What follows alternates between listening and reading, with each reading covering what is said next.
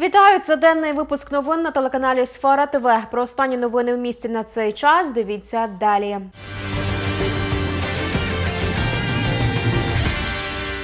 15 квітня аграріям Рівненщини розпочнуть виплачувати дотації. Така державна підтримка спрямована на те, аби аграрії більше виробляли сільськогосподарської продукції, а також компенсує їх втрати у зв'язку з скасуванням спецрежиму з ПДВ.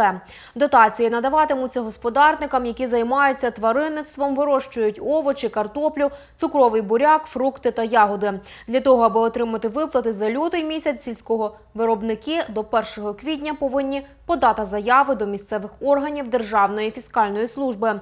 А її фахівці внесуть отримувачів дотацій до реєстру. Загалом цього року у державному бюджеті для українських господарників передбачено 4 мільярди гривень на дотацію для стимулювання виробництва сільськогосподарської продукції.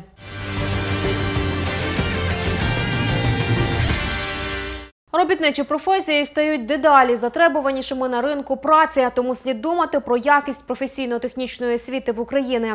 Саме про питання підготовки професійних кадрів та модернізацію навчальної програми до реальних потреб економіки вже сьогодні говоритимуть представники Міністерства освіти та науки України, обласної державної адміністрації, міської ради та вищого професійного училища номер 1 міста Рівне.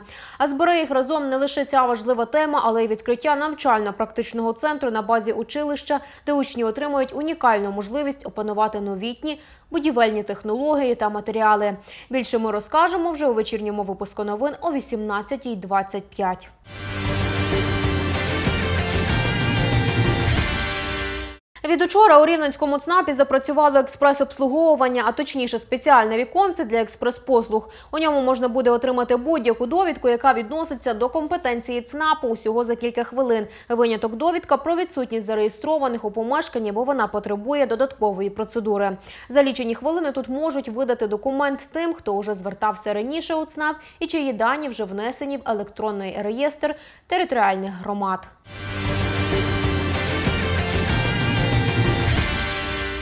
У Рівному молитимуться за мир в Україні. В неділю 2 квітня з благословення архієпископа Рівненського і Острозького Іларіона відповідно до звернення членів Всеукраїнської ради церков і релігійних організацій на Майдані Незалежності відбудеться спільна молитва за Україну, перемогу над агресором та встановлення справедливого миру.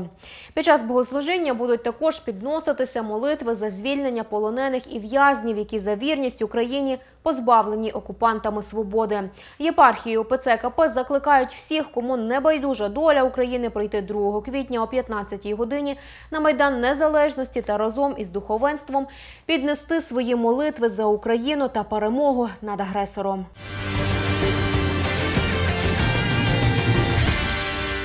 Це всі новини на цей час. Більше інформації шукайте на нашому сайті. А детальний огляд дня дивіться вже у вечірньому випуску новин. Бережіть себе.